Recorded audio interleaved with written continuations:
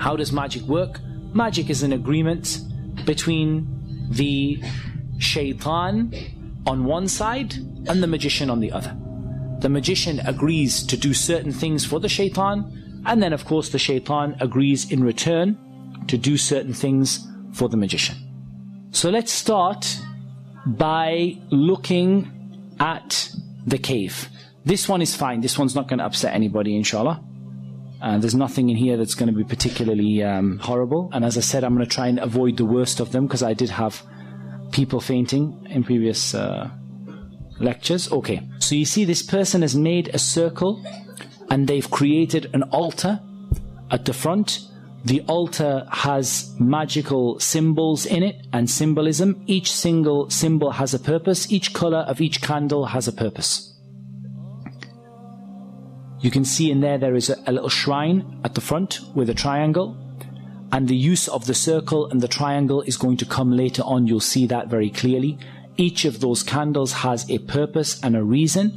And what this person would be commanded to do would be to sit inside of the circle for a prolonged period of time in a cave. And this is just showing you the cave in which the person would be sitting. They're going to a place known for the possession of the jinn known to be isolated. They're sitting inside of that cave and then they are going to be sitting for such a prolonged period of time, lighting the candles and beginning to mention the name of the shaitan, call upon the shaitan and invite the shaitan to come to their presence. And they would usually be asked to relieve themselves in the same circle that they sit in and to sit in their own filth. But that's the lightest one. I thought I'd test your, you know, your stomach first of all. That's the lightest one. Now let's go and have a look at what magicians do with the Quran. This is a public sewer. It's full of, you know, waste and excrement. And they're trying to fish out something from the public sewer. And we're going to keep going and the sheikh he climbs down into it. And this is what they pulled out of the public sewer.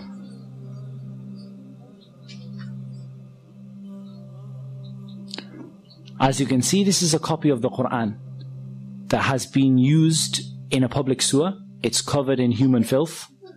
It's covered in sewage. And they now have to clean and purify this copy of the Quran just in case you thought that was a one-off, we'll show you another video. This one has 51 copies of the Mus'haf that have been disgraced by the magicians. As you can see, they are covered, these are all copies of the Quran. They are covered in knots. They are covered in filth inside of them. They're going to open one of them up.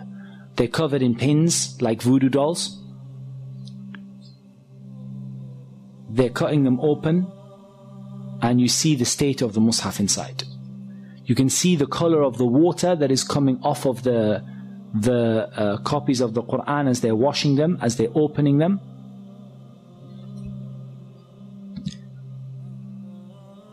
And they're washing them with uh, rose water and they're washing them with uh, perfume in order to to remove the the uh, excrement that was on them. And they were found in a toilet in a public sewer. 51 copies of the Mus'haf. And you can see inside the state that these uh, masahif have been put in, and inside there are metal nails uh, bent over. These are part of the magic, and you can see how covered these uh, masahif are in uh, in in dirt and in in uncleanliness. Right. What you can see here is a copy of the Quran, and you can see a a circular, I don't know what to call it, a device and you can see what the Quran is smeared with.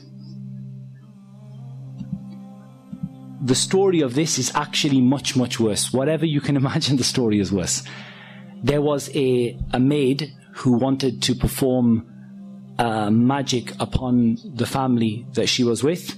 She took a copy of the Quran, she placed it into this tube, and she placed it where she placed it uh, when she was on her monthly cycle and she covered the Quran in menstrual blood. This is what magicians do. Here we're going to see another magician. And this magician is going to show how he, again, he's been caught. And part of them being caught is they ask them to sh- they they ask them to show what it was that they were doing without letting them make shirk. They don't let them call upon the shaitan, but they just let them show the idea of what they were doing in order to expose them in front of the people. So the first thing you see is that this man is wearing red from head to toe. He's wearing red from head to toe because the Prophet ﷺ forbade a man from wearing red from head to toe. He lights his incense that is done deliberately to bring the shaitan. It's not, it's a kind of incense that's well associated with the shaitan. And he begins to perfume a whip and he starts to whip himself. This might remind you of some people.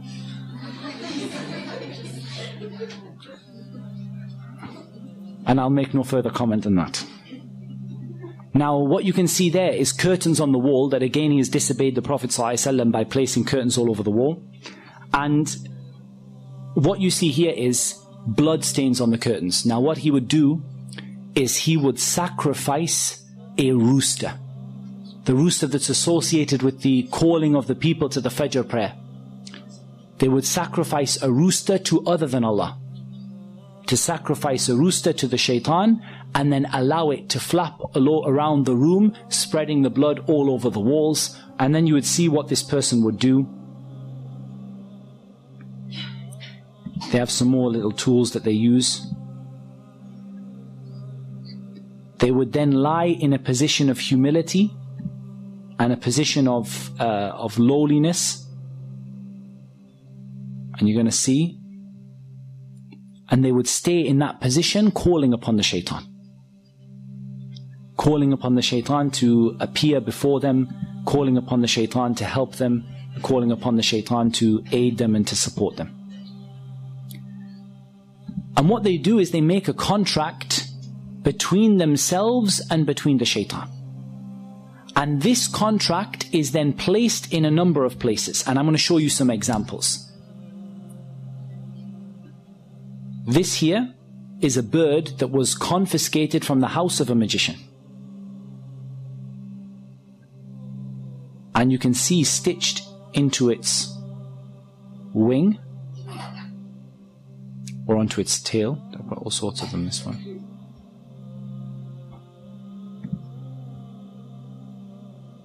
That stitched onto its wing, you have uh, either a, a, a written uh, piece of paper with the magic written on it, or you have various strings and threads that have been blown, the magic has been blown over them. I think the other one is a little clearer, so I'll put the other one on. So this is another uh, another bird that was confiscated from the house of a magician, and you can see very very clearly there that it has stitched into its wing uh, a contract that is written between the magician and between the shaitan.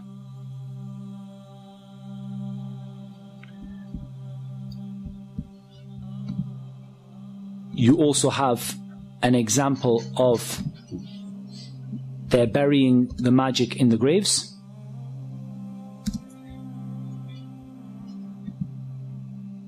So they go out to a grave and they dig inside the grave. They've caught a magician or they've been informed by a magician as to where the magic is hidden. And you're going to see that they bring out from the grave. They've been told what side of the grave to look at, and they bring out usually a plastic bag, and the bag has various magical items in it. You can see there that you have uh, the letters and the symbols that we're going to talk about tomorrow, and you're going to learn about what all about what they those symbols and letters mean. We'll show you another one that comes out of the grave.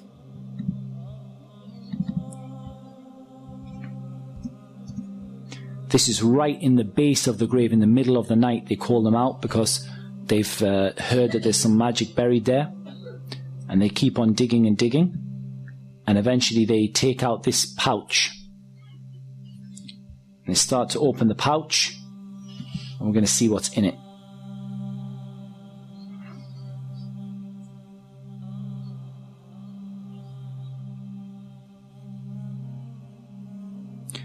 That looks like somebody's vest. Inside, you have an egg which is painted or colored red, may well be blood and has a number of needles stuck into it. You have um, a tissue, a man's tissue. You have a lemon. You have the head of an animal that was sacrificed to other than Allah.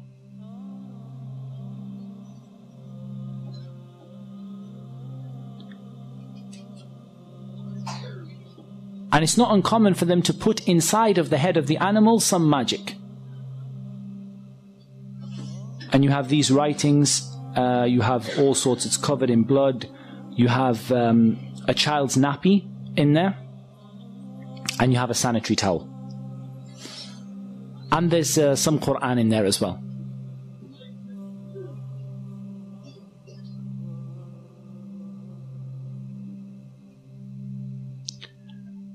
And we're going to count the number of pins. You can see in there that there are seven pins. Okay, let's try and analyze a little bit of what we've seen. Each individual item that was put in there was put in there for a reason. Magicians don't do things at random. They do very, very evil and very horrific things, but they don't do them at random. It was put in there for a reason and an aim in order to bring the shaitan and cause a problem. And I'll tell you what happened. The, the story of this, the sheikh who, who gave me the video, he actually was involved in the case and he told me the story. He said, what happened was there was a woman who had been divorced by her husband and she had lost custody of her child. She went to a magician in order to bring her child back to her. She brought her own blood. She brought the child's nappy. She brought some clothing from her husband and his tissue. And she brought um, an animal, and the animal was slaughtered to other than Allah.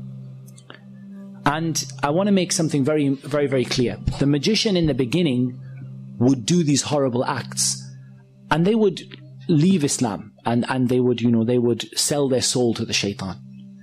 However, there's a problem. Once the magician has done that, what's next? The magician says, calls the shaitan, says, I'm willing to make sajda to you.